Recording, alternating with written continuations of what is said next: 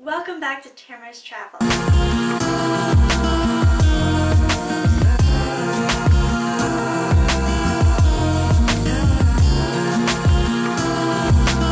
I'm like so excited because I'm going on the Golden Circle tour today. I've heard such amazing things from my friends about it.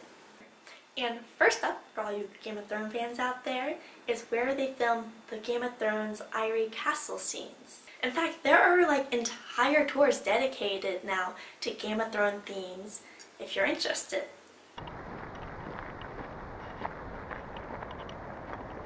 So this is Thingvellir National Park. I highly recommend visiting. It's absolutely breathtaking.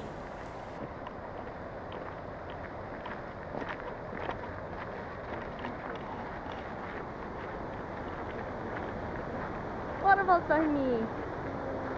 This place where we are standing, this is also what we call the first parliament, or the pagan parliament. It was right here where we are standing.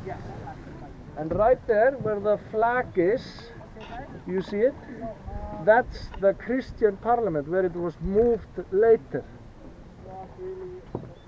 Uh, here in these cabins is the Prime Minister's cabins, where he has uh, foreign dignitaries for coffee and tea.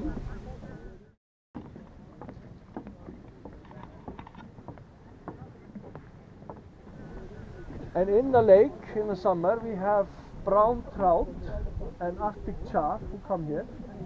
And in October you can see the brown trout. They are all in scars.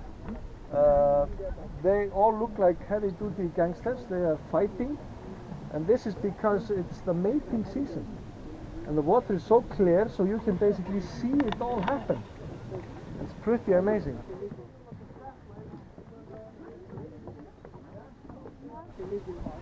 And you know this uh, gorge here, where you're going to be walking in. You might know this from the popular TV show Game of Thrones. But actually they computer animated one of the castles here in the middle of the gorge.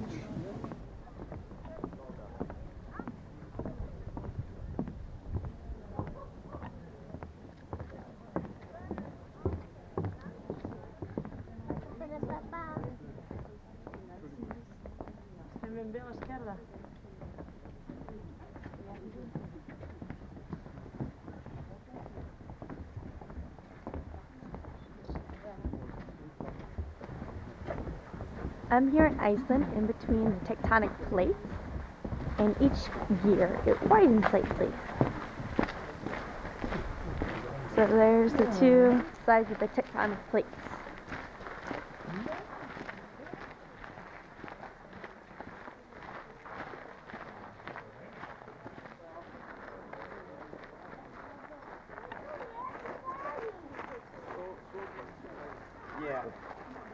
The waterfalls were really pretty, the walk was really great. There's a little too many tourists, so honestly, instead of going on a tour, I'd recommend renting a car and showing up at like 6 in the morning before all the other tourists wake up. And uh, maybe even see a beautiful sunrise. Probably not because it's Iceland and the sun comes up at 2 a.m. But uh, I would definitely recommend uh, renting a car. I really feel like that's kind of the way to go in Iceland. Um, it's pretty expensive because the gas here is really expensive. But if you get two or three of your other buddies to pitch in, then road tripping it. So my travel tip for today is to do a road trip instead of doing these tour buses, especially if you're in a group of two or more people. If you're by yourself, tours are a good way to go because you don't have to do a lot of driving by yourself. Fuel and car rentals are also expensive in Iceland, but if you're splitting the cost with you and a couple of your other friends, then it is a much more efficient, cheaper way to go, and you can just stop when you feel like it. It's really hard to get around Iceland outside of Reykjavik, which you can just walk around because I think it's like a couple miles. Uh, but outside of that, the transportation is not so often.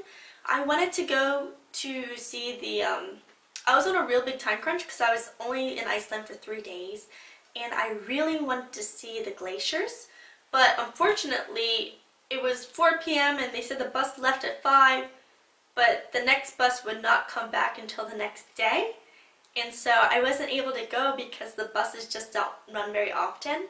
So if you have a car, you have a lot more flexibility and freedom of when you want to come and go, and then you can also go places before people arrive.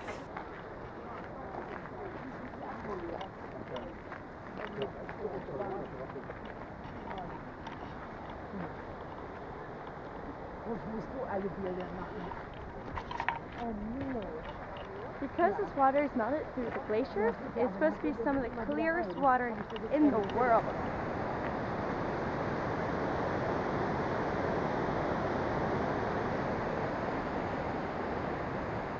So you're not supposed to climb on the rocks, but uh, yeah, I definitely did. Shh, don't tell anyone. It could be like our secret. A lot of tourists do. If you are going to climb on the rocks, be careful. It's probably not safe, so probably don't do it. Yeah, well. I'm climbing the rocks in Iceland.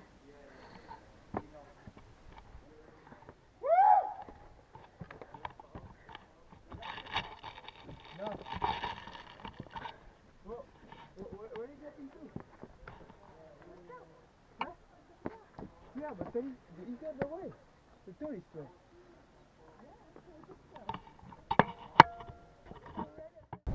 Because I climbed that mountain I wasn't supposed to, I'm kind of running late. And I gotta meet with my tour guide, otherwise he's going to leave me here in Iceland. Which would actually be okay with me, because it is absolutely beautiful. Though I don't know that I would like the cold weather. So, I have to hurry. Thank you so much for watching Tamera's Travels. I really hope you enjoyed the video today. Uh, definitely check out my other Icelandic videos if you're thinking about going to Iceland. I will also be going to Ireland next, so stay tuned. Give it a thumbs up. I'd really appreciate it. And click subscribe if you want to see my other videos.